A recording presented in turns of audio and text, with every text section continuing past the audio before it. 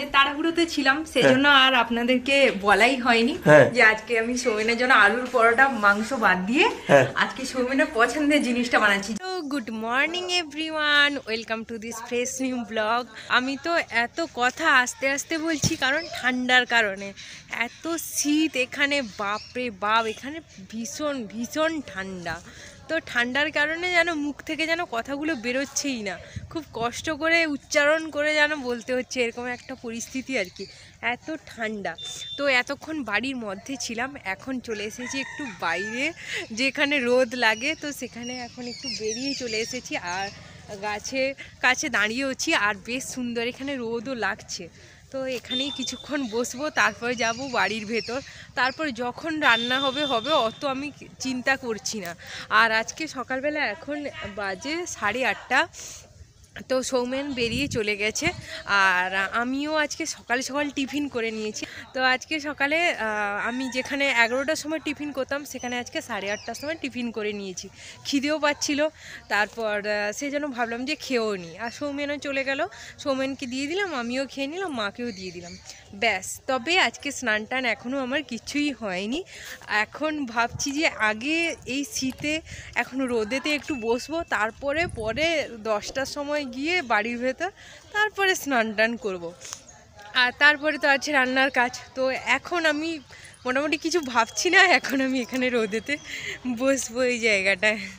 স্নান টান শেষ করে এখন ঢুকে পড়েছি রান্নাতে, আর আজকে দুপুরে লাঞ্চের জন্য রান্না তাড়াতাড়ি শুরু করে দিয়েছি। তো এখন কয়টা বাজে? এখন বাজে সাড়ে দশটা। তো সাড়ে দশটার সময় আজকে রান্নার কাজ শুরু করে দিয়েছি। আর আজকে মাছও নেই, মাংসও নেই। তাই ভেবেছি ডিমের ঝোল বানাবো। অনেক দিন ডিমের গোটা ডিমের ঝোল খাওয়া হয়নি। তাই ডিম আর আলু দিয়ে আজকে ঝোল বানাবো দুপুরে লাঞ্চের জন্য। আর অলরেডি আমি রান্না চাপিয়েও দিয়েছি, সবজি টবজি কাটাকুটি শেষ করে। তো এখানে বসিয়েছি কুমড়ো, বিনস, মটরশুঁটি, অনেক কিছু মিশিয়ে একটা সবজির তরকারি, কুমড়ো ঘন্ট বলি যাকে আমরা। তো সেই সবজি তরকারিটা এদিকে চাপিয়েছি, আর এদিকে বসিয়েছি এখন সিম তো সিমটা একটু হালকা জলে নুন, হলুদ দিয়ে ভাপিয়ে নিচ্ছি, কারণ সিমগুলো বড্ড বড় বড় বা মোটা মোটা। তো যদি ভাজলে সেদ্ধ না হয় ঠিকঠাক, তাই হালকা একটু ভাপিয়ে নিচ্ছি আর কি। তো এরপরে সিমটা জল ঝরিয়ে তারপরে সিম ভাজবো। তো সিম ভাজা আর একদিকে বসিয়েছি সবজির তরকারি, কুমড়ো ঘন্ট। আর ডিমের ঝোল বানাবো। আর কি কি করা যায় দেখা যাক, এখনও পর্যন্ত ভাবিনি। এইগুলোই কাটাকুটি করেছি, এইগুলোই ভেবেছি। রান্না শেষ টেস করার পর এখন বাইরে চলে এসেছি। তো সৌমেনের জন্য উনুনে জল গরম হচ্ছে। কারণ কয়েকদিন ধরে বৃষ্টি হচ্ছিল, তো সে কারণে উনুনে জ্বালন্ত ভিজে হয়ে গেছিল। তো উনুনে জল গরম করা হতো না। কিন্তু এখন আবার রোদ বেরিয়েছে, জ্বালনগুলো শুকনো হয়ে গেছে, তাই সৌমেনের জন্য জল গরম এখানে হচ্ছে আর কি। তো আজকে খুব বেগুন পোড়া ভাতের সাথে খেতে খুব ইচ্ছে করছিল। তো সেই জন্য মাকে বললাম, মা, একটু বেগুন পুড়ে দাও তো। তো মা এখানটাতে এই যে বেগুনটা ফেলেছে, এই যে ভেতরে দেখা যাচ্ছে সৌমেন বাজার থেকে বেশ নরম নরম সবুজ সবুজ লম্বা লম্বা বেগুন এনেছিল। তো এই বেগুন মা আঁচে এখন দিয়েছে পোড়ানোর জন্য, আর বেগুন পোড়া, বড়ি ভাজা আর কাঁচা পেঁয়াজ দিয়ে মাখিয়ে যা সুন্দর খেতে লাগে। তো সেই জন্য মাকে বললাম, মা, জল গরম করার সময় তুমি বেগুনটা পুড়ে দেবে তো, ওই যে ওইখানটা বেগুনটা দেয়া আছে। তো এখন বেগুন পোড়ানোর কাজ চলছে দেখো গো পুড়ে গেল কি না আর এরকম গ্যাসে পোড়ার থেকে উনুনে পোড়া বেগুনের বেগুন মাখানোর যা টেস্ট ভীষণ সুন্দর। তোমার কি বেগুন পোড়া খেতে ভালো লাগে? এদিকে দেখো অ্যালার্জি আছে চুলকাই হ্যাঁ বেগুনের আবার অনেকে অ্যালার্জি আছে। তো বেগুন অনেকের খেলে আবার অ্যালার্জির জন্য গা হাত চুলকোয়। তবে না পোড়া পোড়া বেগুনের না হ্যাঁ। অ্যালার্জিটা ততটা ইয়ে করেনি কমে যায়। রসটা মরে যায় না। হ্যাঁ হ্যাঁ। তো সে কারণে অনেকের আবার বেগুন খেলে গা চুলকোয় অ্যালার্জির জন্য। কিন্তু আমাদের সেরকম হয় না মার একটু একটু হয় কিন্তু পোড়া বেগুনের অতটাও হয় না। এই যে বেগুন পোড়া একদম রেডি তো মা এখানে বের করে রেখেছে, আমি বাড়ির ভেতর নিয়ে যাব। আর পোড়ানোর পর দেখে নিতে হয় টিপে যে বেগুনটা ঠিকঠাক সেদ্ধ হয়ে গেছে কিনা। তো এইভাবে গায়ে টিপে টিপে আমিও দেখে নিলাম, গাটা নরম হয়ে গেছে। মানে বেগুন পুরো একদম রেডি এইভাবে গরম গরম বেগুন পোড়া, কাঁচা পেঁয়াজ আর বড়ি ভাজা দিয়ে মাখিয়ে গরম গরম ভাত। উহ, যা লাগবে না। তো আমি এবার বাড়ির ভেতরে এটাকে নিয়ে চলে যাই।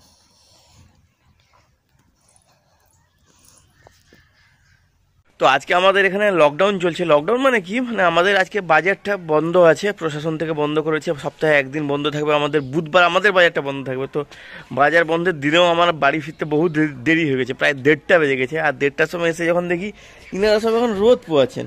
ইনি এখানে বসছেন উনি এখানে বসছেন সব বসে বসে রোদ পোয়াচ্ছেন। তো আমিও ভাবছি আমি আর মানে ঠান্ডা ঠান্ডা দোকানের ভেতর তো প্রচুর ঠান্ডা লাগে। তো আমি একটু বসি এখানে ঠান্ডা দেরি হলো কেন হ্যাঁ? তোমার এত দেরি হলো কেন? যে দেরি হলে একটু কাস্টমার ছিল। তাই? আর এই শীতকালে রোদেতে কিন্তু আরও অনেক কাজ আজকে হয়েছে। কি হয়েছে? তখন আমি রান্না করছিলাম। হ্যাঁ। মা তার বিছানার বালিশ কোল বালিশ সব সব রোদে দিয়েছিল দিয়ে রোদ থেকে তুলে আবার বিছানাতে রেখে এলো। আমাদের লেফেগুলো দিস না। আমাদেরগুলো ছাদেতে যখন রোদ পড়ে আমি ছাদে জানালাতে দিয়ে দিই। জানালায় আর কতটুকু রোদ লাগে আর কতক্ষণ বা রোদ লাগে? সেখানে দিলে হয় বাইরে সুন্দর এখানে কত সুন্দর রোদ লাগছে এই জায়গাটায়। এখানে দিয়ে দিলেই হতো। বুদ্ধি নেই মাথায়। হোক দিয়ে দেবো। কিছুটা খেতে দে আজকে প্রচুর দিতে কথা আছে নাকি? কিছুটা খেতে। তুমি আজকে এত লেট করলে কেন বলো? সত্যি কথা বলছি দোকানে ছিলাম। এ, বিশ্বাস করো না আমি দোকানে থাকলে তার বিশ্বাস হয় না দোকানে না থাকলেও বিশ্বাস হয় না। বাড়িতে যদি আমি বাজার থেকে যদি কিছু খেয়েছি সেটা বললেও বিশ্বাস করে না যে আমি খেয়েছি। আর যদি বলি খাইনি তাও বিশ্বাস করে না। দিব্যি ফিব্বি দিয়ে একাকার কাণ্ড করে দিতে হয়। মানে এর কোনো কিছুতেই বিশ্বাস হয় না। এরকম কেন তুই? ওই আমি বিশ্বাস করি। হ্যাঁ? আমি বিশ্বাস করি। তুমি একটু বাড়িয়ে বলে দিলে। আমি কোনো কিছু বাড়িয়ে বলিনি। কোনো কিছুতেই আমাকে বিশ্বাস করে না। চলে যাও রাখছি। তো রোদে বসে আছি খিদেও পাচ্ছে প্রচুর খিদে পাচ্ছে। তো মা একটা জিনিস নিয়ে এলো সেটাই এই যে বাটিতে। কি বানিয়েছে ভগবান জানে আমি তো বুঝে উঠতে পারি না কাল রাতেও বানিয়েছিল কি খাওয়ার আমার তো মুখে একদমই লাগেনি। যদি এই ঠান্ডা অবস্থায় পিঠে টাইপের কিছু হবে ঠান্ডা অবস্থায় যদি একটু ভালো লাগে। এটা ঝিনুক পিঠে। কি পিঠে? ঝিনুক পিঠে। ঝিনুক পিঠে? মানে আমি প্রথমবার নাম শুনলাম এরকম নাম। রেসিপিটাও আমার কাছে আছে। তো যদি পারি আপনাদের সাথে শর্টে রেসিপিটা শেয়ার করব। ঝিনুক পিঠে মানে নতুন নতুন পিঠে। শীতকাল যত আসবে মানে নিজে ইচ্ছে করে হয়তো নাম দিয়ে দিয়েছে ঝিনুক না না না। মাঝখানে ঘুমিয়ে পড়ল। এই দেখুন মাঝখানে মাদুর পিঠে রোদে ঘুমিয়ে পড়েছে। ও মা এ বাইরে এখানে খাওয়া দাওয়াটা এই বাইরে বসলে ভালো হতো না? এইখানে যদি এই সামনে রোদটা যদি তিনজন বসে খেতাম ভালো হতো। হ্যাঁ? বাপি যখন বেঁচে ছিল মানে আমার বাবা যখন বেঁচে ছিল, তখন আমাদের এই জায়গাটা এই যে এখানে যে পেয়ারা গাছটা দেখছেন না পেয়ারা গাছটা এখন তো মানি প্ল্যান্ট পুরো বেবে হয়ে গেছে। এই যে পেয়ারা গাছটা আছে এখানে, এই পেয়ারা গাছটা আগে এইদিকে এইদিকে এরকম ঝুঁকে ছিল একদম বড় বিশাল পেয়ারা গাছ। তো আমরা এই পেয়ারা গাছের তলায়, তখন বাপি বেঁচে ছিল। তো পেয়ারা গাছের তলায় তখন আমাদের এই এই যে সামনের যে মানে কি বলে উঠোনটা একদম পরিষ্কার পরিচ্ছন্ন থাকতো ধান আসতো তো সেই জন্য মা কি করতো পরিষ্কার পরিচ্ছন্ন করে তারপর ওই গোবর দিয়ে নেতা নেতা টাইপের নেতা দেওয়া হয় যাকে বলে মানে ভালো করে পরিষ্কার করে গোবর দিয়ে ভালো করে এই পুরো উঠোনটা পরিষ্কার করে রাখতো। তো সেই শীতকালে রোদ লাগতো সুন্দর আর আমরা এখানে বসে খেতাম। এইখানে ধানের গাদা থাকতো। তো সেগুলো সব এখন স্মৃতি অতীত সেসব আর হয়ও না এখন। তুমি খেয়ে নাও দিয়ে তুই কি খাবি? তুই কি খাবি? পিঠার পাশে মানে সে কি বলে বলুন তো? মানে বিড়ালের সামনে মাছ রাখা হয়েছে। বিড়াল বলছে আমি মাছ খাব না। তুমি তাড়াতাড়ি স্নান করতে যাও স্নান করে এলে আমরা সবাই খাব। ঠিক আছে। এখন বাজে সন্ধে ছটা, আর এখন মা বসেছে ফোনে কথা বলতে, তো এখন আজকে টিভি চলছে না। কারণ টিভির রিমোটটা কাজ করছে না, তো রিমোটের সব সুইচগুলো ঠিকঠাক আছে। একটা যেটা টিভি অন হওয়ার সুইচ, যেটা মেন সুইচ, সেই সুইচটাই কাজ করছে না। তো সে কারণে আজকে আর টিভি অনেকক্ষণ আমিও চেষ্টা করলাম, মাও চেষ্টা করলেও চালাতেই পারল না। তাই সৌমেনকেও ফোন করেছিলাম, সৌমেন বলল, ঠিক আছে, আমি না হলে একটু পরে গিয়ে টিভিটা অন করে দিয়ে আসব। আর সৌমেনের ফোনের সাথে টিভির কানেকশান আছে। তো সৌমেনের ফোন দিয়ে টিভির সব কাজ করা যায়। তো সে বলল যে, ঠিক আছে, আমি রিমোটটা নতুন কিনবো, না হলে এটা দেখা যাক সারানো যায় কি না তো বর্তমানে আর একটু পরে এসে সৌমেন টিভিটা আপাতত চালিয়ে দিয়ে যাবে, কারণ যা মন টন খারাপ, বাবা। তো সে কারণে টাইম কি করে কাটাবে? তাই অনেক মায়ের অনেক বোন। তো তাই বোনেদের সাথে ফোন করে টাইম কাটাচ্ছে। আর আমি এখন বসিয়ে দিয়েছি চা। তো দুধ চা সন্ধ্যের সময় যেহেতু খাই এখন প্রায় দুধ চা তাই বসিয়েছি আর দুধ চা এখন ফুটছে। চা দিয়ে দিয়েছি, ফুটছে। তো বিস্কিট দিয়ে চা এখন খাব সন্ধ্যের সময়। কথা বলতে বলতেই সৌমেনও পৌঁছে গেছে। তো সৌমেন এখানে এই যে বাইরে চলে এসেছে। তো চলে এসো। টিভিটা চালিয়ে দিয়ে যাও। হাতে কি? একটা জিনিস আছে। কি আছে? কালো পুটিতে যেটা থাকে সেইটাই। খাওয়ার জিনিস নাকি? না খাওয়ার জিনিস না, এটা বানানো হবে। কি গো? মাংস আছে। তাদের তাদের যা। এই শীতের রাতে দূর। তুমি আমাকে বললেও না জানালেও না। আমি দুপুরবেলা বলে দিয়েছিলাম আমি আনব। আমি অনেক করে বারণ করেছিলাম সোমেনকে যে না। আনতে হবে না আনতে হবে না এখন আর আনতে হবে না। আলুর পরোটা আলুর পরোটা আর মাংস। আলুর পরোটা ভালো করে বানাবি ঠিক আছে? না পারলে রাখবি আমি এনে বানাবো। তাই? হ্যাঁ। তুমি তাহলে চিকেনটাও আনিয়ে দিও। ঠিক আছে আমার কোনো অসুবিধা নেই। এ সমস্ত কিছু বাবা। কাটাকাটি করে রাখবি আমি বানিয়ে দেবো। শীতকালে এখন রাত্রিবেলা হাত ধোয়া হেন তেন এত রান্না করা ধুস। আমি ওকে বারণ করলাম, ও শুনলোই না, হঠাৎ করে নিয়ে চলে এলো। আর এখন টিভি চালানোর কাজ করছে, ওই যে চেষ্টা করছে। তো শেষমেশ টিভি চালিয়ে দিয়েছে, এই যে এইদিকে। এটা টিভি চালাতে জানে না, এ দুজন, এ দেখুন টিভিটা এসে আমাকেই চালাতে হলো দুজন এত বড় বড় মেয়ে। একজন মেয়ে আর একজন মহিলা দুজন এত বছর বয়স হয়ে গেল তাদের টিভি চালাতে জানে না। আমাকে এসে আবার টিভি চালিয়ে দিতে মানে শিখিয়ে দিতে হচ্ছে। মানে কোথায় নিয়ে যাব বলুন দেখি। এ মডার্ন হ্যাঁ এই মডার্ন এই সময় চলে রানী রাসমণি। হ্যাঁ। তো মা রানী রাসমণি না দেখতে বাবা আমার কপালটা কি বাজে? ঠাকুর ঠাকুর তুমি আমাকে টিভিতে দেখালে না? তো শেষমেশ কপালটা সত্যি ভালো। সৌমেন এসে টিভি চালালো আর রানী রাসমণির আজকে মানে শেষ তিনটে এপিসোড হয় তো শেষটা এখন চলছে। মানে অ্যাট লাস্ট দেখতে পেয়েছে। মানে শেষের পথে আর কি আজকে সিরিয়ালের যে ভাবতে পারবেন কোন জামানার লোক টিভি চালাতে জানে না? আমাকে এসে টিভি চালাতে জিও বস জিও। তাড়াতাড়ি সবকিছু আমি পারব না। জোগাড় যন্ত্র করে রাখবি আমি এলে বানাবো ঠিক আছে?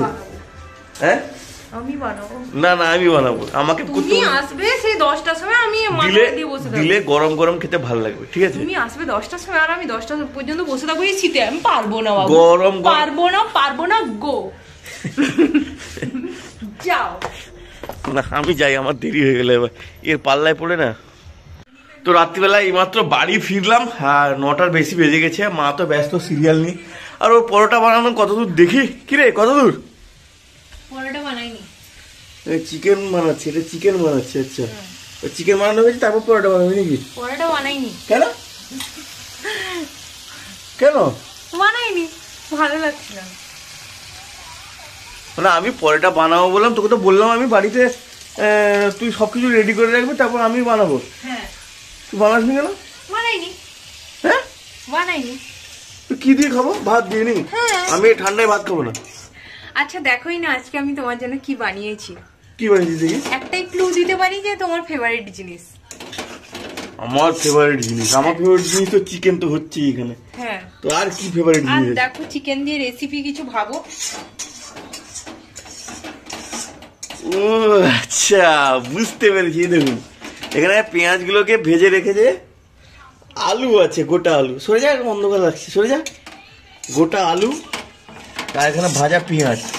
আর এখানে ডেকচিতে ও এই দেখুন তার মানে আজকে হচ্ছে বিরিয়ানি তাই তো হ্যাঁ? আর আমিও খুব কাজের তাড়াহুড়োতে ছিলাম সেজন্য আর আপনাদেরকে বলাই হয়নি হ্যাঁ। যে আজকে আমি সৌমেনের জন্য আলুর পরোটা মাংস বাদ দিয়ে হ্যাঁ। আজকে সৌমেনের পছন্দের জিনিসটা বানাচ্ছি যেহেতু কাজে ব্যস্ত ছিলাম ও এলেই যেন খেতে পারি। যদি বিরিয়ানি বানাতিস আমাকে বলতিস আমি মাংস পিসগুলো বড় বড় করে যেরকম হয় হ্যাঁ বিরিয়ানি হ্যাঁ সেটা আমার ভুল হয়ে গেছে ছোট ছোট মাংস। হ্যাঁ, একটু ছোট ছোট মাংসের পিস অসুবিধা নেই সুসিদ্ধ হবে ভালো হবে। তো আজকে সৌমেনের ফেভারিট জিনিস আমি রাতের ডিনারে বানাচ্ছি। আর কতক্ষণ লাগবে? এখনও বানানো হয়নি আমার মাংসটা জাস্ট কষিয়েছি। আর কত লাগবে? টাইম লাগবে পনেরো মিনিট লাগবে। আরও পনেরো মিনিট লাগবে ওয়াও আজকে পুরো আনএক্সপেক্টেড মানে হঠাৎ করে বিরিয়ানি খাওয়ার মানে ভূত চাপলে যা হয় অবস্থা আর কি। তো দেখি ওর মানে কীভাবে বানাচ্ছে বানাচ্ছে একটু আপনাদেরও দেখাই। তো রান্নার কত কি হলো দেখি কত দূর। আচ্ছা এখানে মনে হয় এবার লেয়ারিং এর কাজ বাজ শুরু হয়েছে মনে হচ্ছে। তো আটা গুলে রেখেছে আলু আচ্ছা লেয়ারিং হ্যাঁ হ্যাঁ যেটা ভেবেছিলাম। কাজ শুরু হয়েছে সবই কমপ্লিট জাস্ট এটা দশ মিনিট রান্না করে তোমাকে সার্ভ করে দেবো। তাড়াতাড়ি তাড়াতাড়ি আমি সামনে আর সামলাতে পারছি না। আচ্ছা তলায় তালে চাল দিছিস মানে ভাতটা। হ্যাঁ হ্যাঁ হ্যাঁ। তারপরে? তার উপরে একটু চিকু। চিকেন তারপরে একটু গ্রেভি। আচ্ছা। ভালো করে দিয়ে দে ভালো করে তারপরে একটা লেয়ারই দিয়ে দে না বেশি তো চাল তো বেশি নেই। একটা লেয়ারই দিয়ে দেবো? হ্যাঁ হ্যাঁ। হ্যাঁ। আচ্ছা কিন্তু হ্যাঁ। আমার যা মনে হচ্ছে আমার একটা জিনিস সন্দেহ হচ্ছে কি বলতো? আমার মনে হয় আমাদের মানে যে রাইসটা কম পড়বে। এখানে একটা লেয়ার দিয়েছে এখানে এইটুকু আছে। তিনজন খাব। তারপরে একে শীতে লোকে মানে লোক একটু বেশি খায় তারপরে আচ্ছা বাবা তুমি যত খাবে খাবে কোনো অসুবিধে নেই। কিন্তু আমার মনে হচ্ছে আমার শর্ট হয়ে যাবে বুঝলি না রে বাবা সত্যি কথা বলছি। আচ্ছা আচ্ছা যদি কম পড়ে যায় তোর ভাগেরটা আমাকে দিয়ে দিত? একদম একদম। ঠিক আছে ঠিক আছে তাহলে আমার কোনো প্রবলেম নেই। যাই হোক আমার চিকেনটা দেওয়া হয়ে গেছে। তো চিকেনের লেয়ারটা পড়ে গেছে।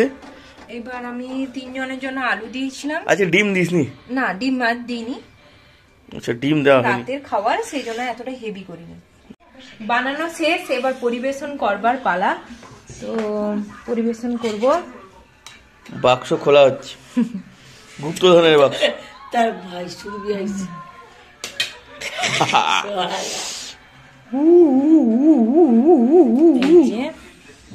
গরম গরম ধোঁয়া উঠছে হা হা হা। তাড়াতাড়ি আমার প্লেটে পরিবেশন করো। ইয়েস গরম গরম ধোঁয়া আপনারাও নিশ্চয়ই বুঝতে পারছেন গরম গরম ধোঁয়া।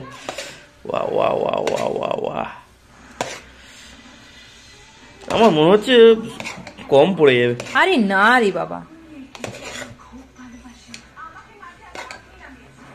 বেশি মাখাতে আবার চালগুলো ভেঙে যাবে। হ্যাঁ। এটা আমার থালা। হা। তো আমি স্যালাডটা আগেই পরিবেশন করে দিয়েছি। ও শুধু রাইসটা দেবো। আহা। তো সবাই মিলে এবার বসে গেছি খেতে। কি রে টেস্ট কেমন হয়েছে? ভালো হয়েছে। ভালো হয়েছে? আমি অনেকক্ষণ ধরে খাওয়া শুরু করে দিয়েছি এতো একটু পরে এলো। ও। যেমন গন্ধ তেমন স্বাদ। মা তোমার কেমন লাগছে? ভালো হয়েছে। ভালো হয়েছে? নুন একটু শর্ট করে। মা বলছে নুন কিন্তু আমাদের নুন ঠিকই লাগছে এবার যে যেরকম নুন খায় তার উপর নির্ভর করছে। হুম আর রাইস আছে না? আছে তো? এতে আছে এখন না? আচ্ছা। তো রাতের বিরিয়ানি খাওয়া শেষ করে চলে এসেছি রুমে এবার ঘুমানোর জন্য। চোখ ফোক পুরো জুড়িয়েছে এত ঘুম পাচ্ছে। আর আজকে আমার পেট ভরেনি সত্যি কথা বলছি। আমি রুমিকে যে বলেছিলাম আমার এই রাইসটা কম পড়ে যাবে সত্যি আমার পেট ভরেনি ওকে বললাম ও এখন বিছানা করছে। তো ও বলছিল ওর ভাগেটা দিয়ে দিবে। না সবাই যখন খাচ্ছি একটু কম পড়লেও কিছু যায় আসে না। ও আমাকে আবার বলল তোমাকে মুড়ি ফুড়ি দেবো আর আমার পেট ভরেনি আমার মনে হচ্ছে যেন আরও উম, একটু খাই। কিন্তু কিছু করার নেই। আমার প্রথম থেকেই মনে হচ্ছিল যে একটু শর্ট পড়বে। তো যাই হোক সবাই মিলেমিশে যাই হোক, খেয়ে নিলাম।